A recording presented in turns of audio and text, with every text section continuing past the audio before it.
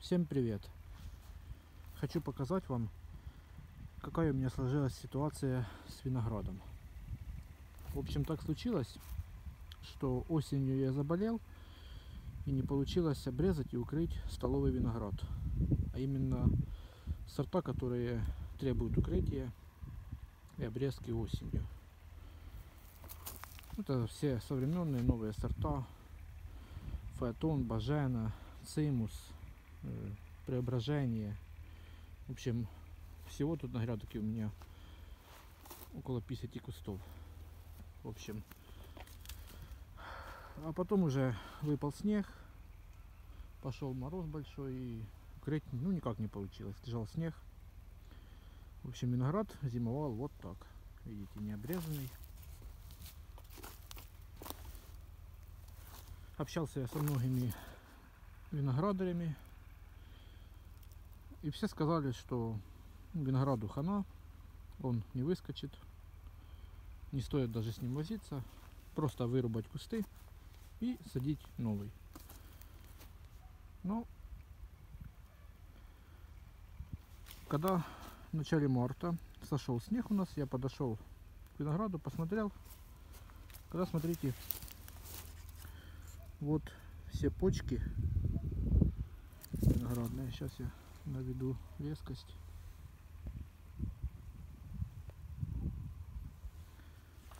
Виноградная что-то не наводится. Виноградные почки все живы. И вот видите, почечка разбухает. Ну, спасло то, что зимой у нас было максимально в январе 22 градуса мороза. Больше мороза не было. Вот дня 3 у нас, даже не дня, а ночи 3 было, 22-23 градуса мороза, больше не было. То все кусты винограда живы. Вот я начал обрезать. Посмотрите. Вот я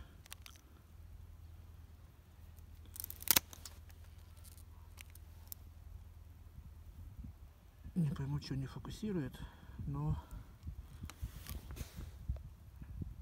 виноград жив. И вот тоже я, ну сегодня это резал. Вот я срезаю, видите, зеленая у нас лоза. Почки везде открываются. Вот почки все живые. Так что я его обрезаю. И потом летом покажу видео отчет, какой же будет урожай с неукрытого винограда, который выжил. Это вот куст Софии. Тоже вот видите почечка. Она жива. Сейчас весна. Вот видите, травка зеленеет. Это не осень. Кто мать скажет, что я обманываю. Вот смотрите, чеснок сходит. И лук.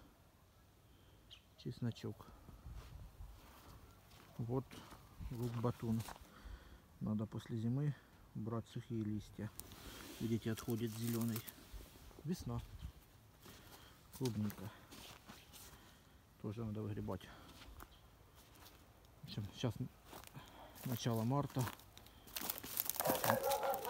Все надо срочно выгребать, обрезать. Так что работы много. И виноград жив. Вот. Покажу вам. Смотрите, этот ряд еще не обрезан. Вот я только что обрезал. Этот тоже обрезал виноградик. Вот. Кстати, куст преображения. Смотрите, какая почечка. Живая. О, сфокусировала.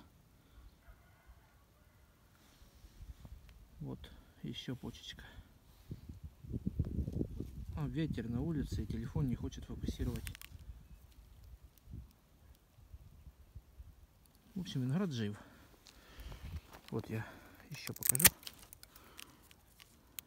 Сейчас подержим. Должно сфокусировать. О, смотрите. Видите? Зеленый, жив. Секатор, правда, уже перерезал кучу всего. Надо подгострить. А так обрезаю. Так что если вы не смогли укрыть виноград, есть надежда, что он будет жив. Видите, пообрезал все живое.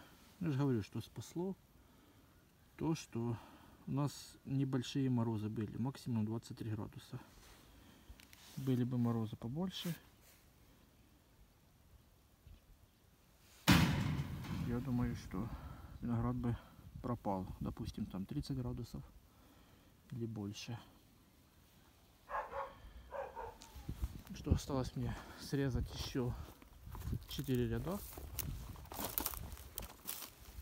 Вон необрезанный. Виноградик. Кстати, лозу возьму на черенки. Буду укоренять. Вся лоза жива, здорова. Попробуем сделать с них саженцы. Хорошие сорта, чего бы не сделать саженцы. А на осень буду, будут на продажу. Вот персик. И вот персик возле винограда растет. Персик тоже перезимовал прекрасно. Бонусом покажу еще хурму. Хурму я укрывал. Можно ее резнуть. Видите, кусочек, этот столб сухой. А вот эта веточка, вот эта веточка жива. Эта веточка жива. До вот этого места.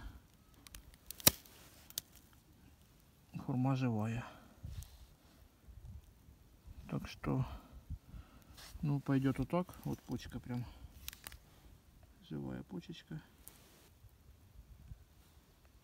Фокусируйся.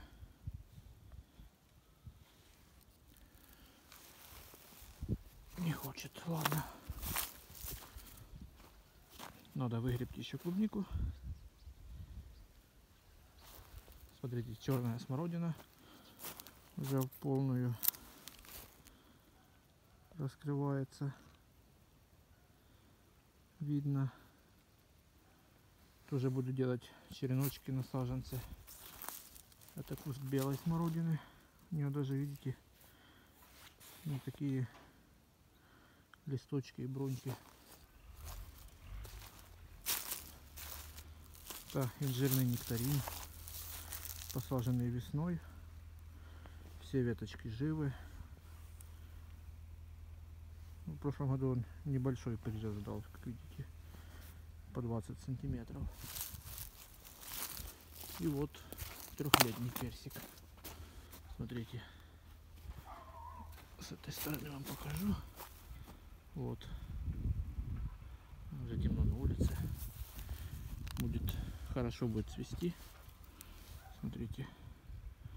Это все почки.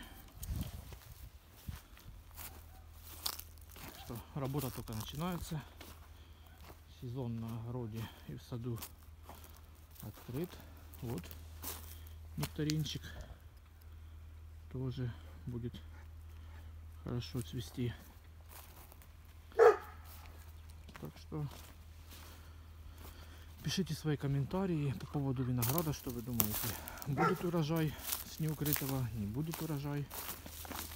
Чем это грозит? Я думаю, что лоза хорошо зимой промерзла, все там бактерии, вирусы, грибки вымерзли. Я думаю, что он хорошо закалился. Думаю, что урожай будет хороший. Вот, будем вместе смотреть, что будет с винограда, если его не укрыть на зиму. Так что вот у нас в Днепропетровской области как видите, виноград пережил зиму без, без укрытия. Что с этого получится, посмотрим на этом. Спасибо за внимание. Пишите в комментариях, укрываете виноград или не укрываете. Я каждый год, конечно же, укрываю.